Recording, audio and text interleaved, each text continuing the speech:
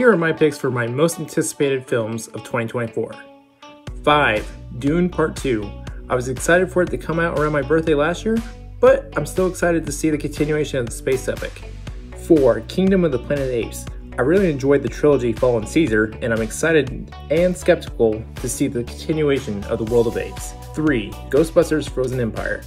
Ghostbusters has been one of the classics I grew up watching, and I really enjoyed Afterlife, so I'm excited to see what they do back in New York. 2. A Quiet Place Day 1.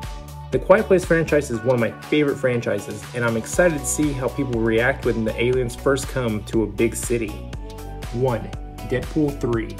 Not only is this the only MCU film coming out this year, but this is also the return of Hugh Jackman as Wolverine. I've enjoyed the past few Deadpool movies, and I'm excited to see what they get up to in the multiverse.